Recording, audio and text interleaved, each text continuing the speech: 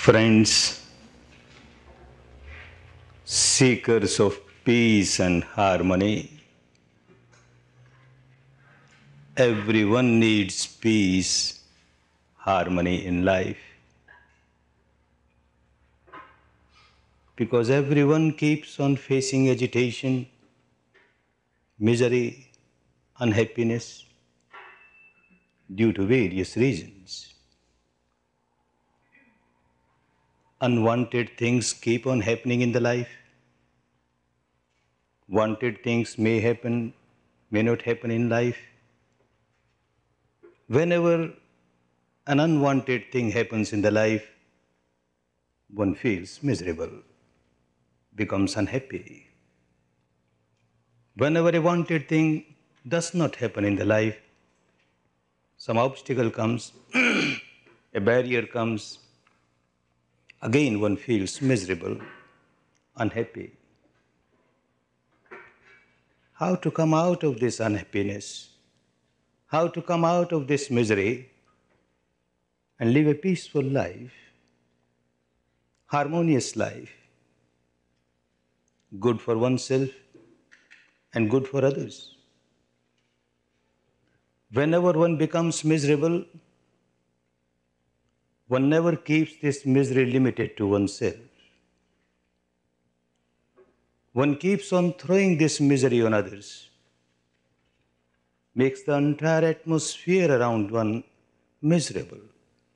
Everyone who comes in contact with this person at that time becomes miserable, unhappy. Certainly, this is not a good way of life. This is not an art of living. One must learn an art of living, how to live peacefully and harmoniously within, and how to generate nothing but peace and harmony for others. And this is what one learns by this technique of Vipassana meditation. Don't get scared by this word meditation because people have misused this word. In the name of meditation, so much exploitation is going on, exploiting people. For many, it has become a business a means of livelihood, to earn money. Vipassana is not for that. Vipassana is to serve people. Misery all around. And if one starts exploiting people, one helps to multiply this misery, not to eradicate the misery. This is totally different from what many people are doing in the name of meditation. Vipassana is not a cult, it is not a dogma, it is not a blind belief, a blind faith, not to convert people from one organized religion to another organized religion. Vipassana has nothing to do with all that.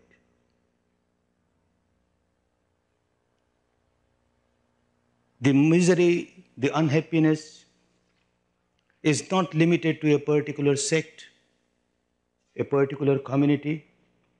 It is universal. Vipassana is a remedy, a universal remedy for this universal malady. One becomes miserable, agitated, unhappy, because one generates defilements in the mind. One reacts to the situation wrongly. Whenever one keeps on reacting, one keeps on generating negativity, one keeps on multiplying the misery. Apparently, it looks that one is miserable because something unwanted has happened in the life or something wanted has not happened in the life. but this is partial truth, apparent truth. The real truth is the habit pattern of the mind which keeps on reacting all the time. Whenever it faces something pleasant, it starts reacting immediately with craving, with clinging, and loses the balance, becomes tense. Whenever it faces something unpleasant, again it reacts blindly, immediately, with aversion, with hatred, generates tension, becomes miserable.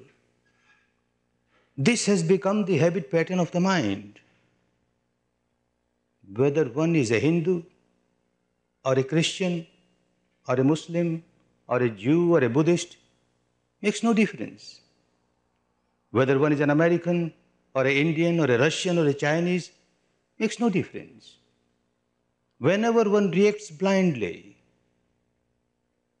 one generates tension, becomes miserable, bound to become miserable. The law of nature is universal. The law of nature does not favor somebody who starts calling himself a Buddhist.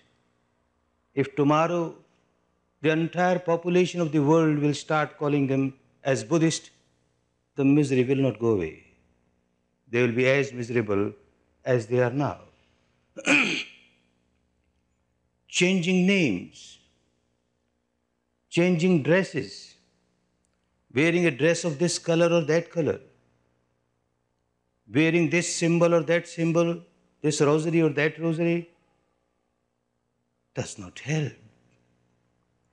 One has to change the mind, the habit of the mind, the blind reacting habit of the mind. And this is what Vipassana helps you to do. Whenever any negativity arises in the mind, and the result of which one becomes miserable, the normal tendency is to have an escape, to run away, to run away from the problem. If one is very miserable, tries to forget about the misery, runs to some place of entertainment, amusement, to a cinema, to a theater, opens a TV, or goes to a bar, tries to forget. No solution. Escape is no solution. Again, you have to face the same problem, and again, you keep on reacting in the same way. There is no solution. Similarly, there is another escape. Some people do not want to run away for these sensual pleasures to come out of their mental misery. They seek some spiritual solution. There are many kinds of meditation where you try to concentrate your mind by verbalization. You start repeating a word, chanting some meditation, you imagine some shape, some form, mind gets concentrated, you feel you are out of your misery. To some extent, it is true. But again, it does not take you to the stage where you are free from all your misery at the deepest level of your mind. Only at the surface of the mind, one feels that I am now free from misery. You have changed your attention, diverted your attention from the cause of the misery to something else which you liked.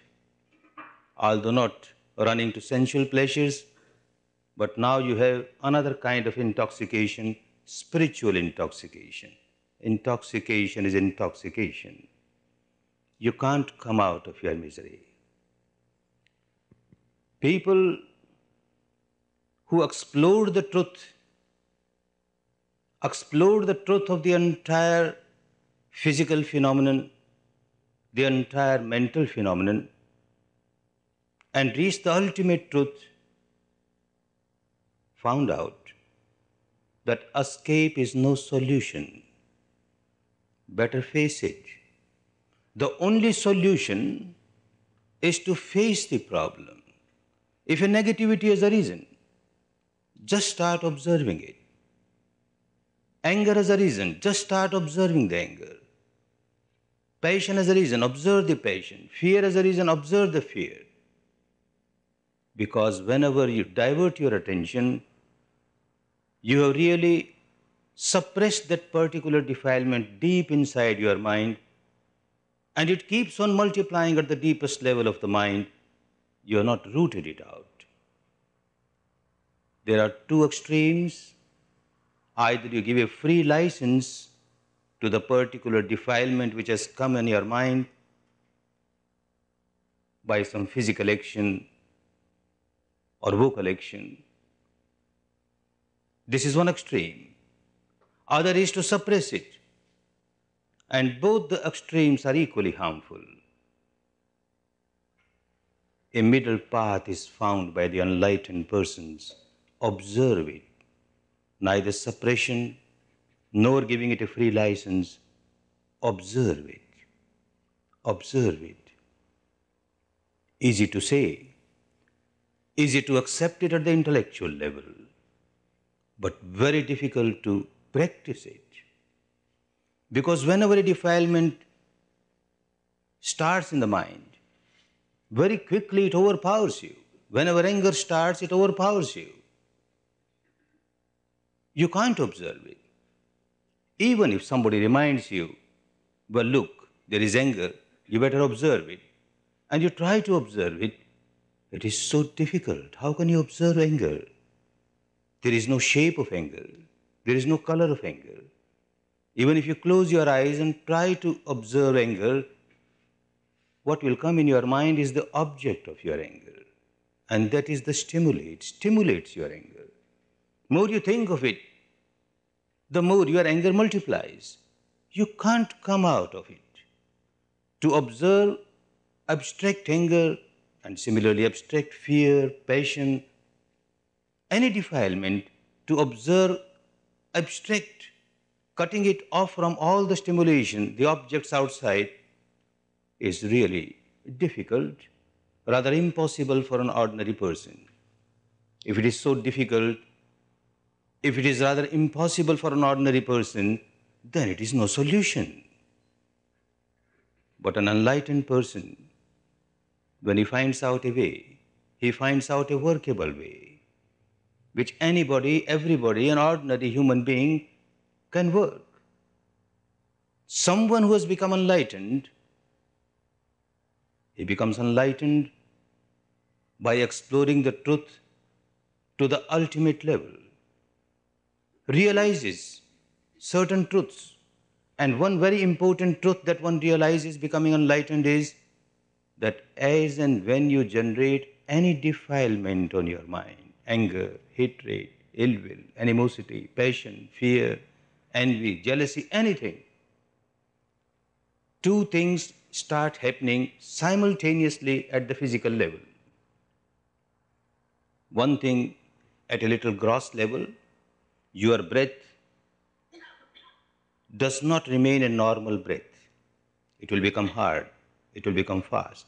Whenever you generate anger or passion or fear or anything, the breath can never remain normal. One reality. Another reality at a little subtler level.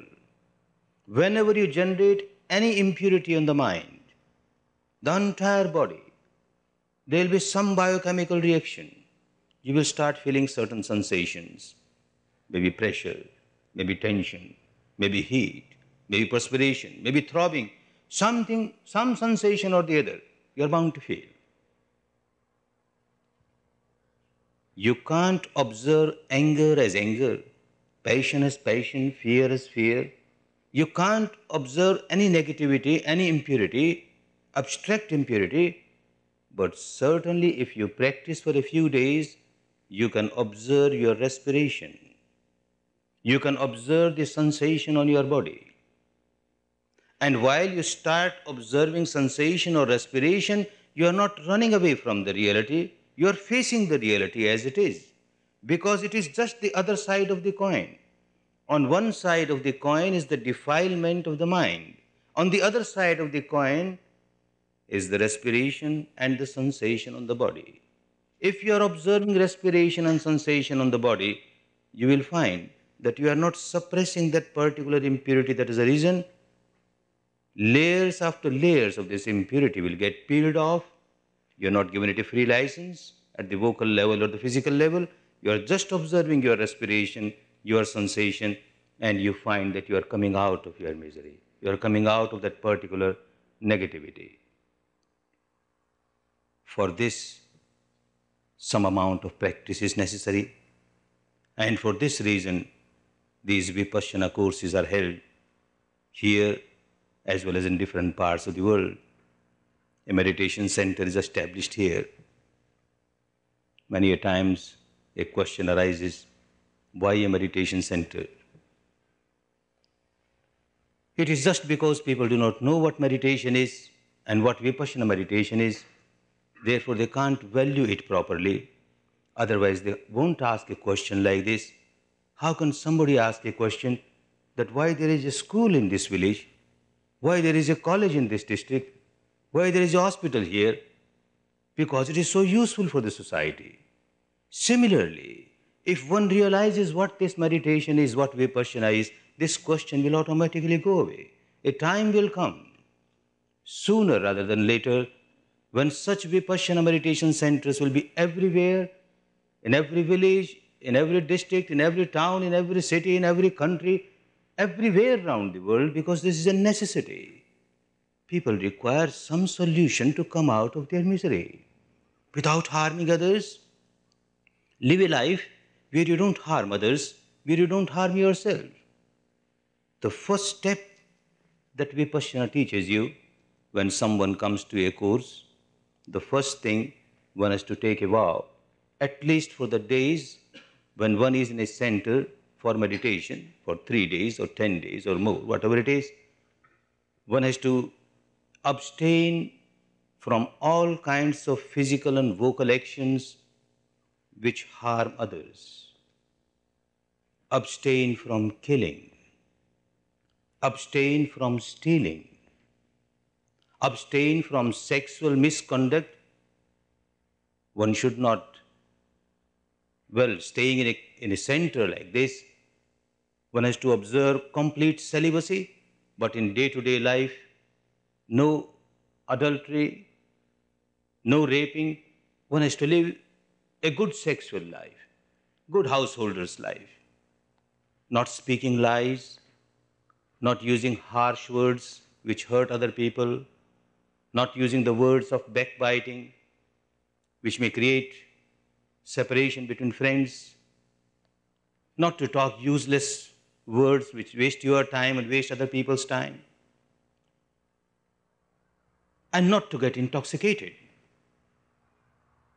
One abstains from all these vocal and physical actions which harm other people.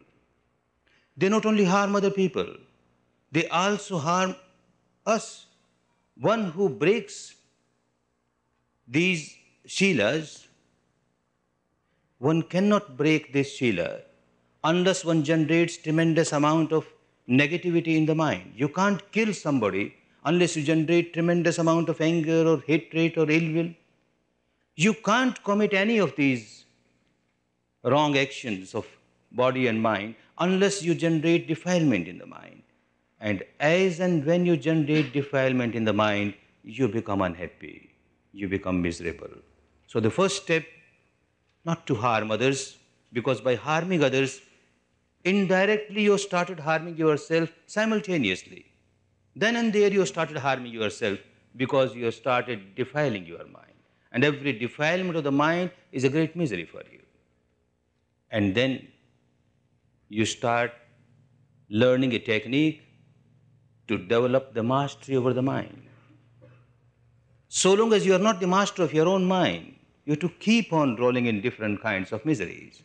So the next step is how to observe the respiration as it comes in, as it goes out. The habit of the mind was to keep on running here and there, wandering here and there. Now you train your mind to be just aware of the respiration, the natural respiration as it comes in, as it goes out. When you are observing respiration, you are not converting yourself from this religion or that religion. As when you were observing these five moral rules, you are not converting yourself from one religion to other religion. So also developing the mastery over the mind with the observation of respiration is not developing any kind of cult or dogma or involving yourself in any kind of mysticism. This is the reality of the moment you are breathing in, you are breathing out. For three days, when you work on this awareness of respiration, you start feeling sensations around this area. Natural, normal, physical sensations. Again, no mysticism, nothing. This is the nature of the body. Every moment there is some sensation or the other. Your mind was never sharp enough, not sensitive enough to feel it. Now you are able to feel it.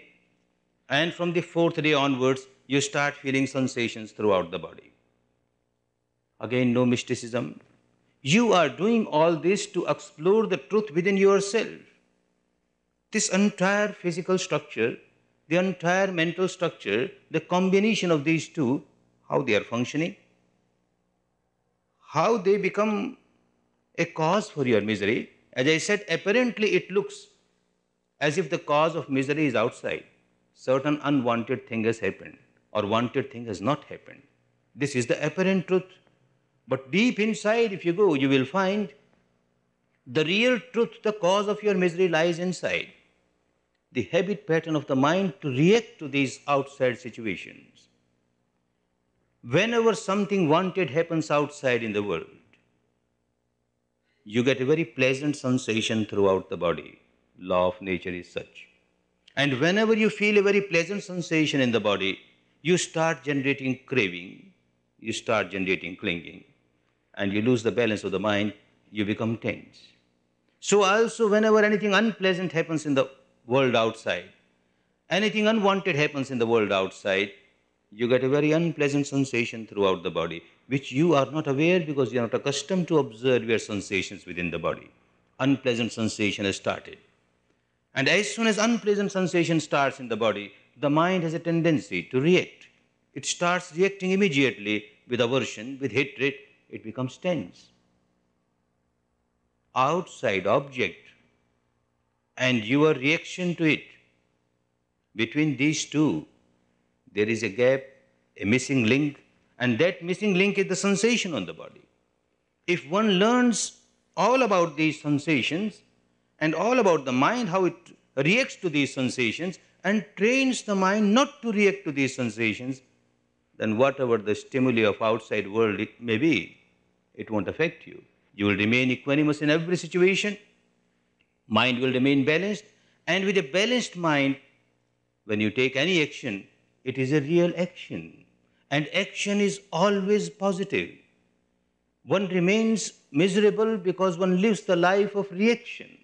The entire life is life of blind reaction, blind reaction, which makes one very miserable. A situation has arisen, pleasant or unpleasant. And if you learn a technique by which you can observe your own sensations and remain equanimous even for a few moments, then whatever decision you make, whatever action you take is always positive. It is never negative. It won't harm you, it won't harm anybody. A big change will start in life. So, when one comes to a course like this for 10 days, one does not come to get oneself converted from one religion to another religion because that is not going to help at all. Conversion is, of course, there. One gets converted from misery to happiness. One gets converted from ignorance to enlightenment. One gets converted from bondage to liberation. Conversion is there. One lives a very happy life, peaceful life, harmonious life which is good for oneself and good for others. Not that in 10 days one becomes perfect, not possible. But in 10 days you get a technique as to how to face the situations, different situations in the life, how to face them, how to face them remaining equanimous. After a 10 day course, still you will be reacting. Not that all the reaction will go away, but you will find that the reaction is not that deep as it used to be before. The reaction is not for that long period as it used to be before. That means you are coming out of your reaction, you are coming out of your misery. And as you are coming out of your reaction, coming out of your misery, you are purifying your mind, purifying your mind. A stage will come when the mind is fully pure, totally pure. And a pure mind is full of love, infinite love, infinite compassion, infinite sympathetic joy, infinite equanimity. These are the basic characteristic of anyone who has got a pure mind. If the mind is full of love, compassion, goodwill, how can one do anything which will harm anybody else? One will only do things which will help others, which will make others also peaceful and harmonious. And that makes a big change. A healthy person, a healthy member of a healthy society. The human society can only become peaceful if each individual becomes peaceful. The society can become healthy if each individual becomes healthy. Everyone desires peace in the world. There are agitations. People agitate to get peace. I can't understand how agitation can bring peace. There must be peace within. Each individual must experience peace. And more and more people start feeling peace inside, harmony inside. Naturally, it will affect the atmosphere around you. It will affect the, the, the society. Individual must be peaceful, must be harmonious, and then you will find the society becomes harmonious, peaceful, the country becomes peaceful, and like this, the entire world becomes peaceful. It may be a slow process, but can't help it. You can't force peace on people. When everybody is agitated deep inside, everybody is full of defilements, anger, hatred, ill will, animosity, and we do nothing to eradicate these impurities, and we want peace round the world. Something impossible. The entire jungle has withered away. No more green. And you want the entire jungle, you want it to become green again. You have to give water in the root of every tree. Every tree must become green, then the entire jungle will become green. Without doing that, you want the entire jungle to become green. It is impossible. Vipassana is for this purpose. It deals the problem of each individual. And that is how it deals the problem of the society, the problem of the entire world. But each individual is very important, and that solving the problem of each individual has to be done by that individual himself, herself. No one else can fight out your battle. You have to fight out your own battle. You have to work out your own salvation. Someone who has walked on the path and got benefit from the path, from the technique, with all the love, with all the compassion, will show you the path. Well, this is how I walked over it. You also try. You also try. Just for this purpose, one joins a course like this to learn how to fight out one's own battle.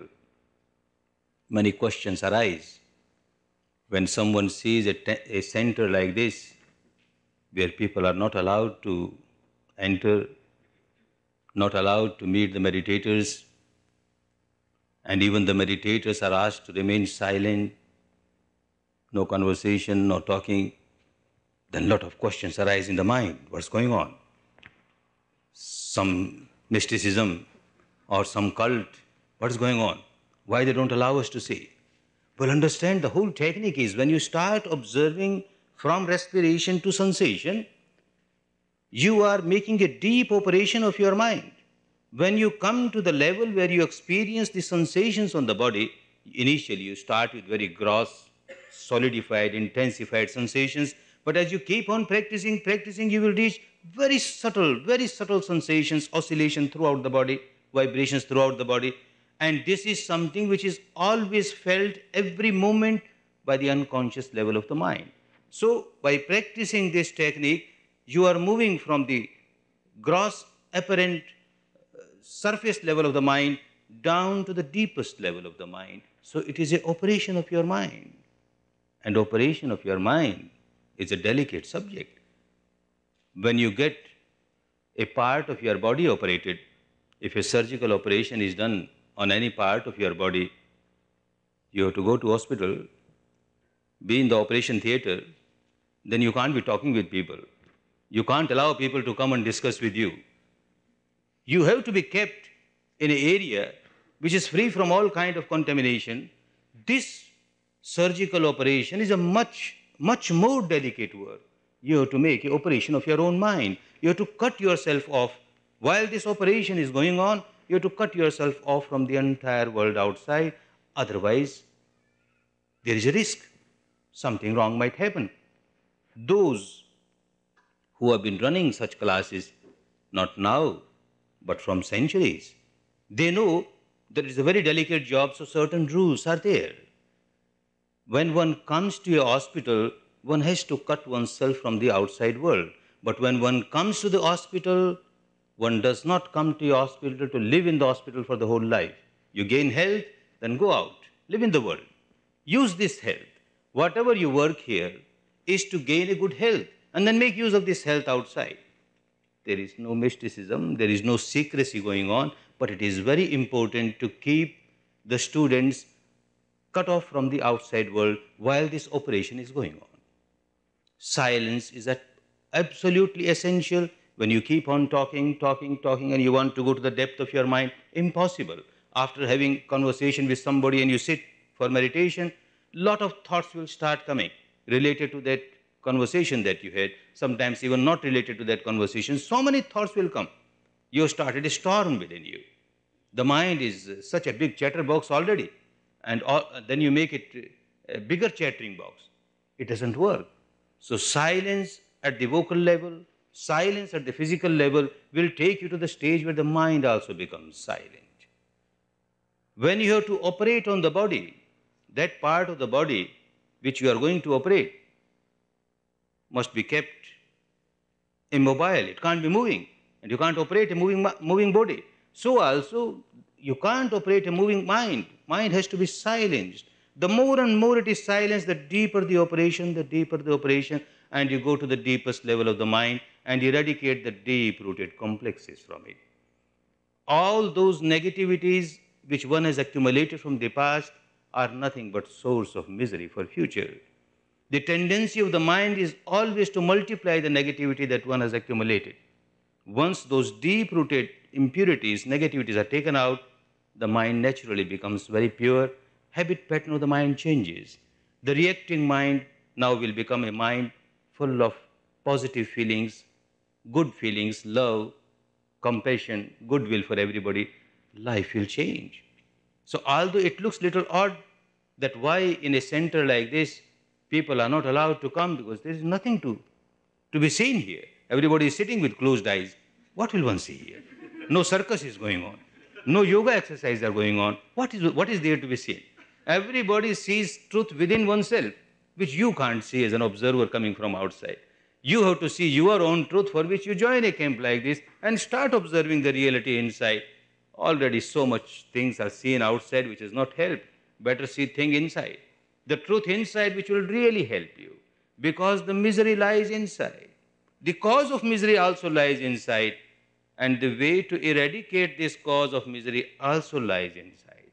So that's why this deep operation of the mind to reach the stage where the misery starts, where you start reacting. Whatever has happened outside, something that has happened outside is nothing for you unless it comes in contact with this framework of the body. The entire world of sound is not a world of sound for you unless the sound comes in contact with your ear sense door. The entire world of vision, shape, form is no world for you unless it comes in contact at eye, eye door. So also at the nose door, the, the tongue door, the body touch door, or the mind door. These six sense doors by this only you come in contact with the world. The world is world for you because of these six sense doors. You start reacting within the framework of the body.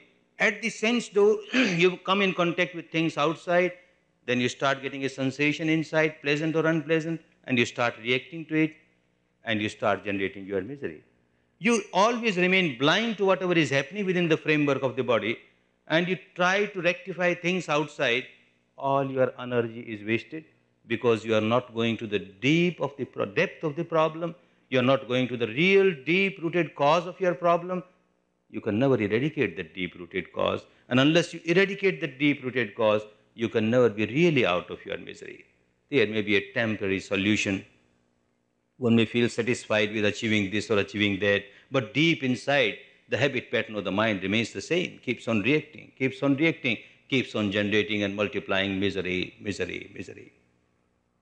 I feel myself very fortunate that I got this wonderful technique. And I came out of my misery to a certain extent. And now, when I start distributing it, I find thousands of people who get benefited by it. I feel full of joy to see people coming out of their misery. People come to courses with very sad faces, full of melancholy. By the time 10 days are over, they go out smiling, feel lighter, happier, and then they keep on writing later on that their life pattern has changed. They are now living a better life, a happy life, harmonious life. Certainly, one feels very joyful seeing so many people happy. An opportunity for all of you who are living around this area, this wonderful hospital, this wonderful center, which will help you to go to the depth of your mind, learn the technique how to go to the depth of your mind and come out of your misery. All the causes of your misery, which do not lie outside but deep inside within you, make best use of this technique for your own good, for your own benefit, for your own liberation, liberation from all the bondages and shackles and chains of cravings, aversions, illusions, delusions, which makes everyone unhappy. Whether one is a Christian or a Jew or a Buddhist, makes no difference at all. Human being is human being. The law of nature is applicable to everyone.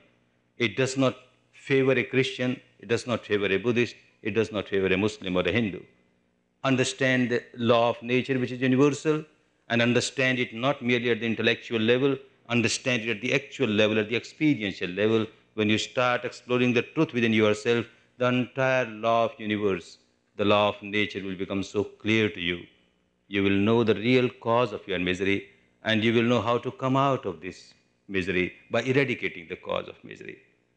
May all of you take advantage of this wonderful technique to come out of your misery, to eradicate all the defilements in your mind and enjoy real peace, real harmony, real peace to you all, real harmony to you all, real harmony to you all.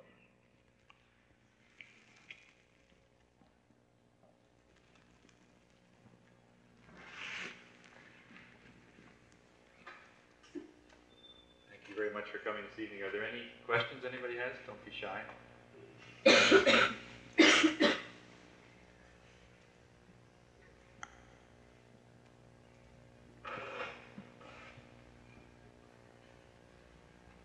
The subject is so clear, no questions. Good. Everybody is happy. the Meditation Center has ongoing courses throughout the year we have some literature here with schedules as to when the courses are going on and uh, how one can uh, sign up for these courses and come. Also, we have some refreshments for uh, everyone here this evening. So if there's no questions, we can. I have a question. Yes, go ahead, please. Uh, when you say to be happy, uh, in the face of uh, so much which is not happy, yes what, what is an appropriate response when we feel the sadness of others? Uh, you feel the sadness of other, but don't become sad because of that. You remain peaceful, you remain happy, and see that you do something to take out the sadness of others. But if you join in that sadness, you multiply the sadness around you. This person is not helped, you are not helped. Sadness is there around the world, quite true. Feel that sadness, and keep yourself calm, peaceful, and really happy, then you will find a solution comes out easily. If you join the sadness, no solution can be found.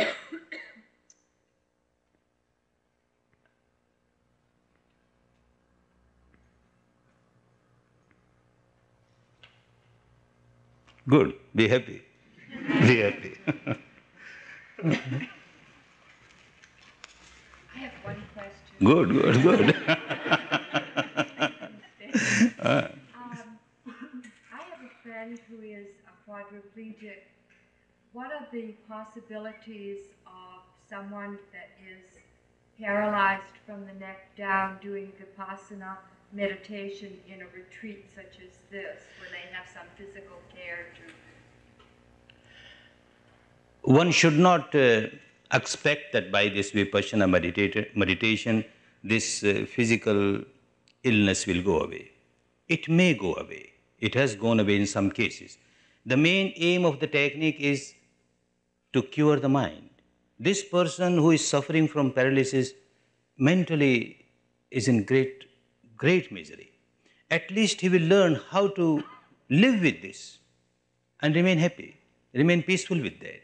That Vipassana will teach.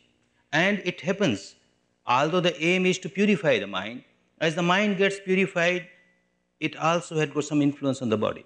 As the mind gets defiled, it has some influence on the body, the body becomes ill. So also as the mind becomes pure, the body also becomes healthy. It may have some good result on the body also, but one should not join a course to get oneself out from any kind of physical illness.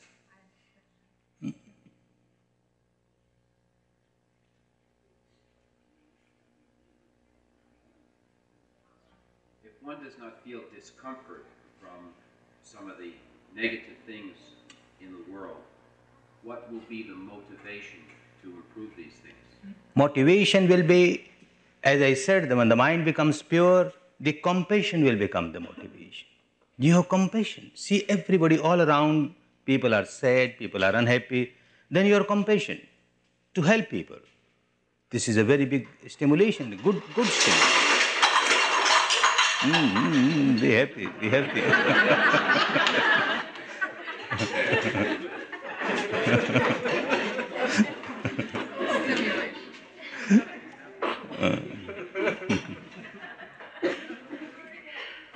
Vipassana does not make you like vegetable that you have got no sympathy for anybody or you don't have feeling for anybody. But it, the, everything will be positive now. When you react to the sadness of people, as this gentleman said, you also become so sad because of that. It doesn't work. Or you become so excited that you take action which is more harmful. But if you are peaceful inside, you take action, you become very active. Vipassana will make you very, will give you a very active life. You will never become inactive. But the reacting part of it will go away. It will be positive.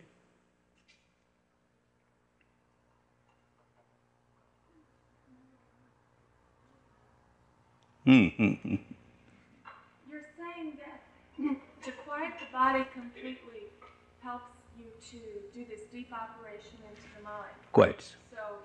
When you're meditating for 10 days, you wouldn't talk to anybody, you wouldn't do any physical activity.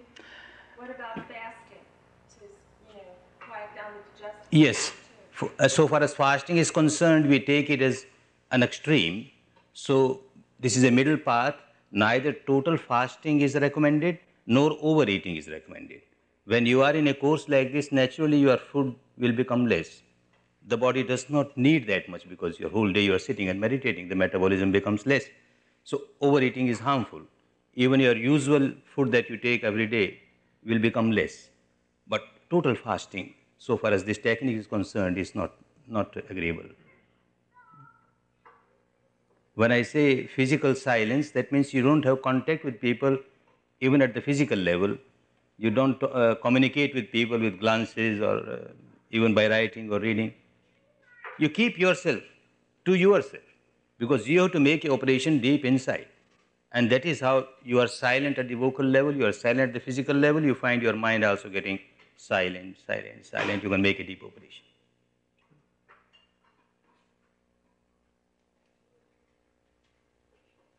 Is there any individual that it would be inappropriate to practice at any time in their life? For instance, I'm thinking of nursing mothers.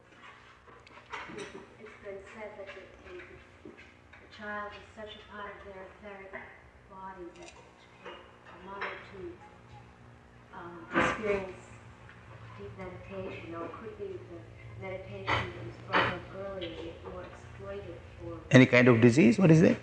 Nursing mother, mother is nursing the child. Uh-huh. Would be harmful for her to, to do? No, no, no, no, it will be helpful. We, we recommend uh, the pregnant women to take courses to meditate. Because the child before birth must get this technique. But gets wonderful wonderful vibration. Comes out a good child happy child peaceful child. Nursing mother can practice nothing wrong Why is it suggested that after taking a course that you keep two hours or you do two hours of meditation a day? Yes, because uh, when your body becomes dirty, you take bath you make it clean. Your cloth becomes dirty, you wash it. So your your mind keeps on becoming dirty every day. So clean it morning and evening. Remain fresh.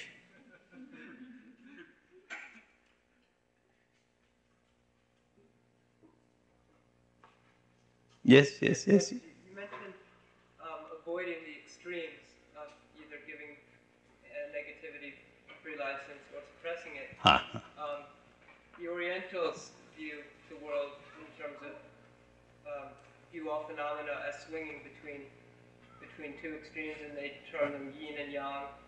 And I was wondering if um, if on the physical level there is looking at what's going on in that way is, is it all helpful? Yes, you observe physical level as well as mental level. What these young and young people are doing, I do not know because I don't represent such Orientals. I represent only Vipassana because this is what I have practiced. And in Vipassana, you observe both the body and the mind. You can't separate them. When you observe your mind inside, you are observing its effect on the body. Everything that arises in the mind, even a thought arises in the mind, must generate a sensation in the body. This is law of nature. So you are, you started observing it. This makes the mind balanced naturally. Mhm. um, part of the process of observing the sensations in the mind and uh, also understanding the deep-rooted complexes that you may have and how they're connected?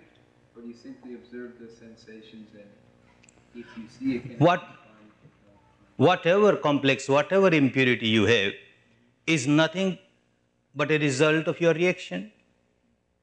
Otherwise, it's not impurity. And when you are observing the reality of the mind and matter manifesting itself as a sensation, and you are not reacting to it, you are changing the habit pattern of the mind. You know, when you come across something unpleasant on the body, an unpleasant sensation, the old complex deep in you is nothing but a habit pattern of the mind which starts reacting with aversion towards this unpleasant sensation. So, as soon as that old complex starts coming up on the surface to react with aversion towards the unpleasant sensation, you just remain equanimous and see how far it works. You will find it arises, aversion arises, arises, passes away, passes away. You just keep on observing it. It loses all its strength, it becomes feeble. So, also a pleasant sensation arises, and because of the old complex, the habit is to react, to react with craving, with clinging. You start observing it. A pleasant sensation has come, and look how the mind has started craving, clinging. You are equanimous, equanimous. It loses all its strength, becomes feeble, passes away. This is how you come out of all your complexes. so it's not important to understand Not necessary, otherwise, it becomes intellectual game. If you feel a sensation, oh, this sensation is because of my such past anger, or this sensation because of my passion, it won't help you. Your cloth is dirty. You go to a market, buy a soap, rub it, clean it. You don't go in the detail. This, this uh, impurity is from there, this dirt. Not necessary. The soap is there to clean everything. Vipassana cleans the whole mind. This defilement or that defilement makes no difference.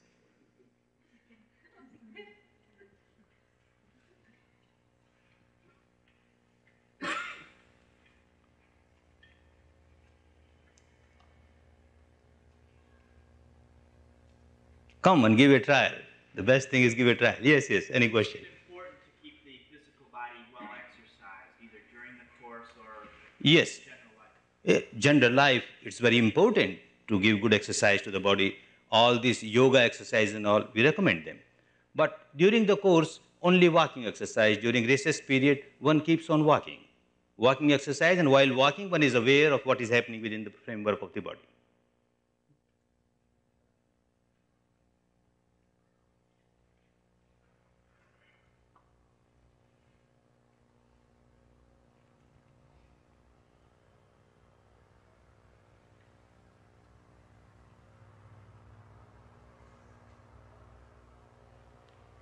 Good. So experience Vipassana, camp, that will be the best answer to all the questions.